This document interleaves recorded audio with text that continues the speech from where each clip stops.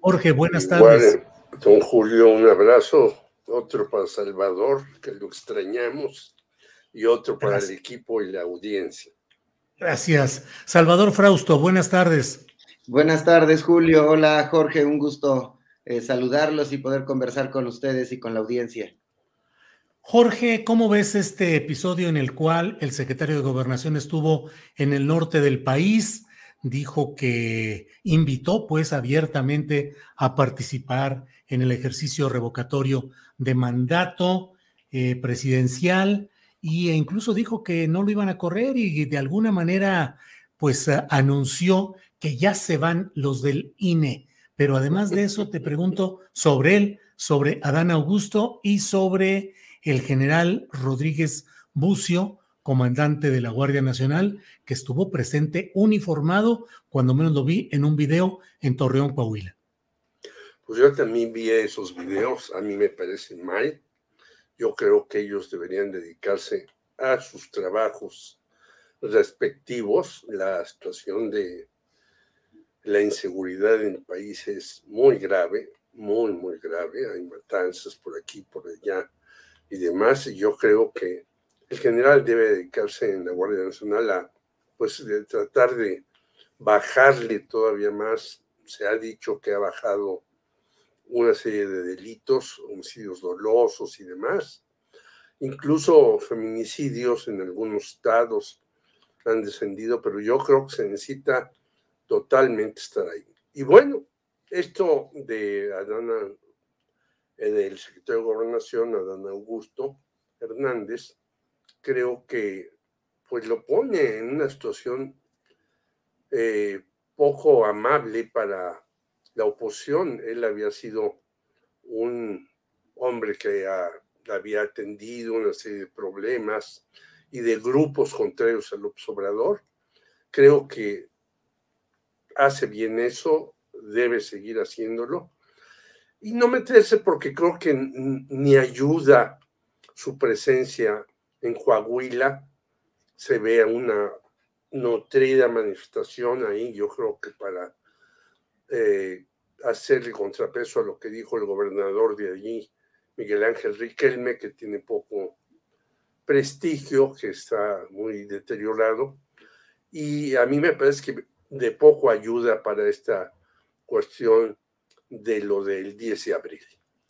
Yo creo que hay otros asuntos más interesantes, como por ahí anda un video de Carlos Mendoza del 6 de julio de López Obrador para principiantes, que también no quieren que se exhiba porque dicen que es como propaganda a favor de López Obrador el próximo 10 y demás. Y esas cosas sabiéndolas utilizar ayudan mucho más que la presencia de personajes que si bien tienen una jerarquía eh, prominente en este sexenio, que estén o no estén, no ayudan en nada a sumar puntos, votos y agregar personas que tienen que ir el 10 a ver esto de la votación. Yo iré porque me parece que es un momento importante.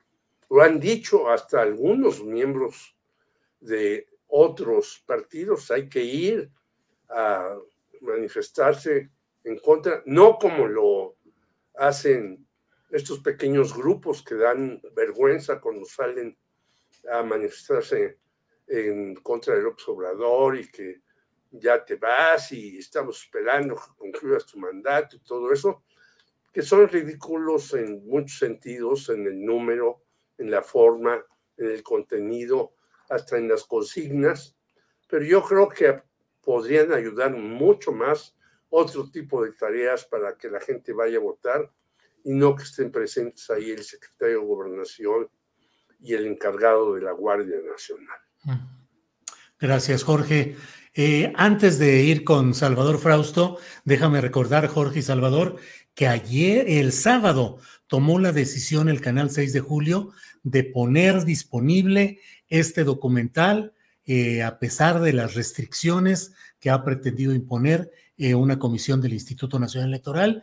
Y el reporte que tenemos es de que les fue muy bien en la exhibición de este documental, que tuvieron mucha audiencia y que hubo mucho eh, apoyo, digamos, en cuanto a la asistencia de quienes eh, están interesados en este documental que se llama eh, Andrés Manuel para principiantes, y desencantados, que sin embargo, sí, que sin embargo el INE consideró que era una propaganda, un apoyo específico para todo lo que es el ejercicio revocatorio. Ahí está el, la ilustración. Quienes deseen verlo, búsquenlo. Hay que apoyar, creo yo, hay que apoyar plenamente este tipo de trabajos y además en contra del intento de censura, de ataque a la libertad de expresión de una comisión del INE. Canal 6 de julio, Andrés Manuel para principiantes y desencantados. Bueno, Salvador Frausto, ¿cómo ves este tema? Adán Augusto, el general Rodríguez Bucio, dice el presidente que no, casi casi dice, no se hagan bolas, denlo por muerto políticamente a Adán Augusto, él no va a ser candidato. ¿Le creemos, Salvador? Eh, no, no estoy muy seguro de creerle que no vaya a ser eh, considerado en la terna de las, de las corcholatas, ¿no? Este, pues le han dado mucha fuerza y él mismo se ha movido de modo impresionante, ¿no? Incluso eh, me ha tocado escuchar a, gente de oposición hablar bien de, Adán Augusto, lo cual es, este, eh, me parece extraño a, gente de dirigentes de partidos de composiciones importantes y eh, pues está muy activo en la política, se está acercando a los a las oposiciones, al partido Morena, a los aliados de Morena, etcétera. Y ahora, bueno, hace este viaje para, en el que aparece en eventos junto con Rodríguez Bucio, eh, eh, y viajan además en un avión de la Guardia Nacional, sin duda, pues es, eh, llama la atención y puede llamar a, una crítica y sin duda debía indagarse si es correcto, si estaba de acuerdo a las reglas establecidas, si el secretario de Gobernación y, y el jefe de la Guardia Nacional pueden utilizar eh, los eh, aviones del gobierno para este, promover la revocación de mandato.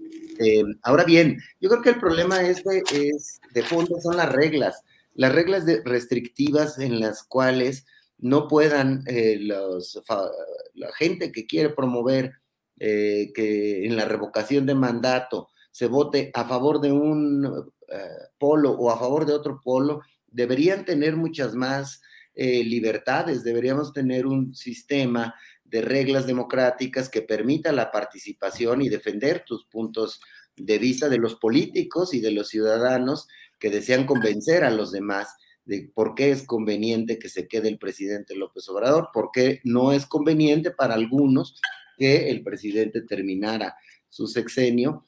Y pues para eso es ese instrumento de democracia directa, para que podamos evaluar a los eh, gobernantes y como hemos dicho en otros momentos, si, este, si un ejercicio similar se hubiera llevado a cabo eh, después de la mitad, de la primera mitad del sexenio de Peña Nieto, es muy probable, si nos atenemos a las encuestas de la época, los estudios de opinión de la época, a que el presidente Peña Nieto no hubiera terminado eh, su sexenio. Ahora, los estudios de opinión similares en estos momentos pues hacen pensar que eh, el presidente López Obrador eh, tiene la mayoría del respaldo de los ciudadanos y que si eh, la gente que acuda a votar, que además pues parece ser que quienes van a acudir a votar son mayoritariamente simpatizantes de Morena y del presidente, pues vamos a tener un resultado que va a avalar seguramente que el presidente continúe. Pero además, ese 30% que está en contra del presidente, está llamando a no votar. Es decir, se dan por derrotados desde el principio, no quieren participar, no saben que van a ganar, no quieren ganar, es como una oposición de juguete, como se ha dicho por ahí en redes sociales, haciendo alusión a esta eh, acción que hizo eh, Xochitl Galvez de mostrar unos juguetes de Lego eh, con la famosa Casa Gris, pues ridiculiza, el, termina de ridiculizando el discurso sobre un tema crítico sobre el gobierno, más que alentar a que la gente eh, se enoje, solo confirma a ese 30% su posición. Entonces, estamos con un, dos polos que están tomando decisiones equivocadas por cierta desesperación y descontrol. La oposición haciendo el ridículo y no eh, mostrando propuestas para poder eh, hacer avanzar su agenda, que no sabemos cuál es, que no se conoce, que no se entiende qué es lo que proponen. Eh, en cambio, más allá de una vuelta al pasado, al estilo del gobierno de Peña Nieto o de Felipe Calderón, son los eh, pequeños esbozos que lanza la oposición. Y del otro lado, el polo del presidente y de Morena, cometiendo equivocaciones como mandar eh, a, promover a Dan Augusto o a Rodríguez Bucio em, la, renovación de mandato, la revocación de mandato, cuando, pues, eh, como bien dice Jorge, pues ni siquiera son personajes muy populares que pudieran arrastrar em, el voto hacia ese sentido. Pero bueno, pues estamos a unos días y esto se va a poner bueno. Solo agregaría una cosa más. Hay que estar atentos el día de la revocación a las redes sociales sobre todo. Ahí es donde se va a mover la oposición, no tanto en las casillas ni en los centros de votación. Van a jugar con estrategia y con agresividad en redes sociales y hay que estar atentos a mirar eso y a cuidarnos de las fake news que vayan surgiendo durante ese día. Julio, Jorge. Gracias, Salvador. Eh, Jorge, ¿cómo te fue en la marcha de ayer? ¿Fuiste? tu micrófono, tu micrófono, ya. Sí, ya. sí estoy, ya. Sí, ya, ya. Iba a ir, pero este, eh, como vi tan poquitos, dije, no, a lo mejor este, estoy ahí y me pasa como en alguna de las marchas que he ido de las mujeres, que de repente dicen, no, usted no puede estar aquí. Me ven y dicen, ah, usted está con Julia, usted está en la marcha, está Ahí se pasmó un poco. Es decir, son de, esos, de esas cuestiones. Ahora ya han rectificado las mujeres, estoy muy contento con ello y dice, sí, sí pueden ir los hombres a nuestras marchas. Pero en una de las, eh, antes de la pandemia, yo iba eh, con mi equipo de reeducación, de donde soy directivo de la, del sindicato, nos quedamos de ver en algún lugar, pero pues había puras mujeres y a mí prácticamente me corrieron, entonces me salí, dije, ¿para qué causa aquí algún, algún problema? Y lo mismo dije ayer, bueno, iré a la marcha para reportearla, para ver quiénes tantos. Dije, ¿y qué tal si dicen, Ah, usted lo mandó Julio Astillero. no, hombre. Oye, ¿y cómo viste? ¿Qué, leíste? ¿Cuál es tu valoración respecto a la marcha? es, muy, eh, ya lo anotaba Salvador Frausto, es muy eh, verdaderamente torpe lo que están haciendo. Terminas y te vas. Era la, la consigna que este, estaba más a modo defendiendo al INE, pues no, no votes el 10 de abril, también. Que cuando uno hace un ejercicio ciudadano, pues debe de no solamente plantear en qué está en contra del personaje, sino por qué está en contra de ese personaje, que si el personaje ha llevado al país a la ruina, a la bancarrota, y todos los datos es que hemos retrocedido en muchas cuestiones, pero no hay que olvidar que tuvimos una pandemia terrorífica a nivel mundial. Es decir, algunos dicen, ay, es que hay inflación. Ah, se aumentó la deuda externa. Ah, y así podría decirte diez cosas más. Bueno, señores, simplemente pongan su mirada en el norte. En Estados Unidos es la inflación mayor en 40 años del 7%. El señor Biden, con todo el reguero de dinero que ha hecho, no ha podido reactivar la economía. Los incendios, los tornados, los accidentes, bueno, ya no hablemos del fentanilo. Es decir, ellos se quejan, pero ellos tienen no solamente a los nueve cárteles mexicanos más importantes eh, distribuyendo eso, sino a cárteles que tienen ahí en Estados Unidos Hay que ver simplemente el, el canal histórico donde todos los días aparecen cómo venden esto, aquello y lo demás, unos señores ahí embosados para que supuestamente no los vean, pero hasta aparecen las calles donde venden este producto y otros más. Así pues, no solamente es un asunto mexicano, es un asunto de crisis mundial, digo yo, del capitalismo, que no ha entendido que polariza, eso sí, polariza mucho más el ingreso de las personas en unas cuantas, en el 0.25%, ya no digamos el 1 mundial, se polariza y tienen más el dinero, y bueno, el 99.75%, pues ahí la vamos llevando y luego decimos, ah, ya aumentó esto, aumentó aquello, y demás, sí, pero así está la crisis a nivel mundial, no por López Obrador, sino por una eh, verdadera oligarquía rapaz que quiere abusar de todo y por todo. Entonces, yo creo que, ¿cuál es la salida? Pues una mayor eh, situación de ir moderando la riqueza de unos cuantos que lo han dicho hasta millonarios como Warren Buffett e ir repartiendo el dinero para que la gente viva mejor. Ese es el asunto de fondo, de fondo, y no tanto si me cae bien López Obrador, si me cae mal, o si Joe Biden, que su hijo está haciendo negocio en Ucrania, a pesar de que dicen que no, este, es un buen ciudadano estadounidense. Bueno, ya le dieron hasta la voz a Zelensky en los Grammy para echar un rollo que me pareció infumable, porque ahora él no es culpable de nada. Ah, qué bonito muchacho, de cómico a más cómico. Gracias, Jorge. Salvador Frausto, y mientras todo sigue corriendo por diferentes carriles y canales, ayer empezaron las campañas para elegir gobernadores, gobernadoras en seis estados de la República.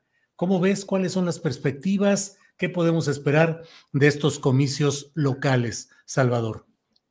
Sí, bueno, pues es interesante. Yo creo que las condiciones en las que arrancan las campañas electorales vienen 60 días de campañas eh, duras hasta el 1 de, de julio, de junio, perdón, eh, en los cuales pues, van a tratar de convencer los candidatos, sobre todo a las gubernaturas, a las seis gubernaturas que están en, disputa. Y en medio de eso, en este primer arranque está el ejercicio de revocación de mandato y como si no fuera suficientemente eh, eh, un asunto que puede agitar las aguas políticas, está la reforma eléctrica que em, eh, ya hace unas horas el PRI y la oposición están llamando a que no van a, que van a dar algún tipo de anuncio en el cual podrían no ir en la, en la reforma eléctrica junto con, con, el presidente López Obrador, como algunos analistas eh, pensaban que el PRI podía jugar ahí. Todavía no se sabe, hay que ver de aquí a que se vote esta reforma eléctrica, que también puede ser poco después de la revocación de, mandato, que es el 10 de abril. Unos días después se estaría pensando en que se discuta y se vote esta reforma eléctrica. Entonces el asunto está ya muy tenso por estos días y así va a ser de aquí a, junio, eh, en el cual pues se van a dar con todos los, los partidos. Se pensaba que de las seis gubernaturas, Morena podía llevarse unas cinco, y la oposición una, digamos, la oposición llevarse a Aguascalientes, pero yo veo cerrada las elecciones en Durango y en Hidalgo. Eh, creo que ahí lo que pasa en estos 60 días va a definir este, muy fuerte hacia dónde se mueve estas elecciones. Están, eh, eh, pues como decía, muy reñidas. No en cambio en Oaxaca, en Quintana Roo o en Tamaulipas, donde se ve muy clara la ventaja de los candidatos de la alianza que encabeza Morena y que podría llevarse esas tres gubernaturas. Entonces, la verdadera disputa eh, la más eh, polémica va a estar por Durango y por Hidalgo, dando por descontado, digamos, que en Aguascalientes se la lleva el PAN. Entonces, pues sí, viene, todo esto va a estar ahí en medio. No sabemos eh, cómo va a terminar el tema de la reforma eléctrica, si finalmente el PRI va a terminar apoyando a Morena o, o no se va a plegar a la alianza electoral que tiene con, con el PAN y con el PRD, Julio. Gracias, Salvador. Eh, Jorge toca este tema, Salvador, que es el de la postura del PRI. Ya hoy Alejandro Moreno dio a conocer en un escenario muy formal con decenas de directivos que no van a votar a favor de la reforma eléctrica, que van a presentar una contrapropuesta, pero dicen que no van a votar los diputados del PRI por la reforma eléctrica. Sin embargo, pues no sé qué opines, Jorge, ¿será esto solamente un principio para más intensas negociaciones con Morena y que a fin de cuentas el PRI, como dice una cosa, puede decir otra? ¿O crees que ya con esto se cierra la puerta a la posibilidad de aprobar en las cámaras la reforma eléctrica? No, yo creo que este señor, este, que supuestamente dirige el PRI, no dirige muchas cosas, y eh, la cuestión es en las seis gubernaturas. Yo eh, creo que ahí van a jugarse muchas cosas. Y yo vi una encuesta, por cierto, en donde en Hidalgo, Julio Menchaca tiene casi 57% de intención de voto, mientras Carolina Villano, Austria, tiene 34. Y yo creo que esa es una de las negociaciones que va a haber ahí. A lo mejor en, Hidalgo, eh, Morena dice, bueno, pues que gane la señora Carolina, que es esposa de Rubén Moreira, para catafixiarlo, como decía Chabelo, por eh, la reforma eléctrica. Yo creo que las cosas estarán así. Lo que hoy vi, por cierto, es que en el financiero, un encuestador que yo creo que es muy serio, le da tres puntos más a López Obrador de 54, pasa a 57. No hay que olvidar que andaba por 60, López Obrador cayó a 54 y, y ya recuperó, según esta encuesta, tres puntos más, está en 57. No hay que creerle mucho a Gea Isa, porque hay que recordar que Gea Isa pues está muy ligada a estos grupos de los nexos, conexos y anexos, y, este, y hace unas encuestas muy raras. No hay que olvidar que además este señor que está metido ahí, Guillermo Valdés, ya estuvo en el CISEN, etcétera, etcétera. Entonces, encuestas no, para mí no son nada respetables. Entonces, yo creo que, en, por ejemplo, en Oaxaca, bueno, hasta Murat va a votar por Salomón Jara, que a mí me parece que era mejor candidata Susana Hart, pero ese es mi punto de vista, pero también en, en, Oaxaca la tiene clarísima, en Quintana Roo, bueno, hasta en Tamaulipas, parece que Américo Villarreal, que yo no lo veía como un buen candidato, ya lleva como 58, 59, en fin, Aguascalientes, eh, eh, coincido totalmente con nuestro compañero de que estará en manos nuevamente del Partido Acción Nacional y en algunos otros a lo mejor antes se pensaba que sí iba a ganar cinco de seis, a lo mejor gana cuatro de seis o tres de seis, ya siendo muy pesimista Morena, pero eso lo va a fortalecer tremendamente para el 2024. Así es que yo creo que hay que poner el ojo en esas seis entidades donde va a haber esto de las eh, eh, elecciones a la gubernatura y ahí mismo también estará ligado con la reforma eléctrica. Yo creo que van a ser ese tipo de cuestiones en esos intercambios que hay entre políticos, que ya sabemos que a nosotros no nos gusta, pero ellos hacen eso con tal de eh, lograr una victoria en donde más les interesa. Gracias, Jorge. Bueno, pues llegamos ya a la parte final de esta mesa de dos. Eh, Salvador Frausto, ya para cerrar, eh, pues ya va todo encaminado, como lo hemos estado diciendo, rumbo a la revocación de mandato.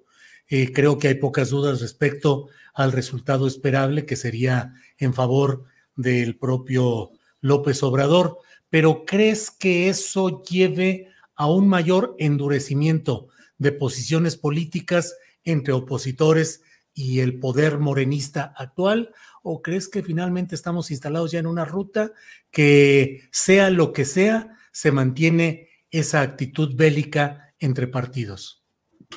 Eh, eh, yo coincido con eh, Jorge de que después de la revocación el presidente se va a fortalecer, pero ¿en qué medida? La pregunta sería, ¿en qué medida se va a fortalecer? Entre más gente salga a votar al ejercicio de revocación de mandato, más fortaleza tendrá el presidente frente a la oposición y frente a otros adversarios que están ahí, que son, por ejemplo, los empresarios y pues un sector de los consejeros eh, del INE que han pasado de, árbitros eh, a, jugar, eh, a marcar faules y, fallas a favor de uno de los equipos con mayor énfasis. Entonces, sí, hay que, hay que ver la revocación de mandato hasta dónde llega. No creo que vaya a llegar, por supuesto, a los em, treinta y tantos millones de votos que se necesita para ser vinculante,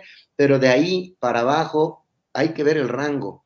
Eh, la oposición puede ponerse este, más eh, eh, brava, más no se va a salir de su, de su guion. Morena tampoco se va a salir, el presidente no se van a salir de su, de su guion y de su intención de generar mayores adeptos, de seguir impulsando el mismo tipo de, de proyectos que molestan a la, a la oposición. Y entonces, pues ahí, eh, ese, con ese, más o menos con ese juego nos vamos a ir hasta el 24 con unos, eh, eh, con el presidente cuidando su 60%, 57, 60% de popularidad y la oposición tratando de aumentar ese porcentaje de treinta y tantos por ciento, a veces le, dan algunas encuestadoras cerca del 40%. Entonces, sí hay ahí un, eh, un, choque que va, se va a mantener, que va a continuar y que, pues, eh, lo que en algún momento se esperaría es que surgieran propuestas para eh, medir qué tipo de país quiere la, la oposición que le simpatice a la, a la gente. Pues Salvador, muchas gracias, igual que a Jorge Meléndez. Estamos ya son las 3 de la tarde con un minuto. Jorge Meléndez, muchas gracias y buenas tardes. gracias a ti, gracias Salvador, un abrazo a los dos, al equipo muy eficaz que tiene y a la audiencia tan amplia que tienes y que te manda un abrazo Carlos Mendoza o Petit del canal 6 de Julio con el que hablé hace un rato. Muy bien, gracias. Igual, igual abrazo a Carlos Mendoza. Gracias. Salvador Frausto, gracias y buenas tardes. Buenas tardes, Julio. Buenas tardes, Jorge. Que tengan una gran semana.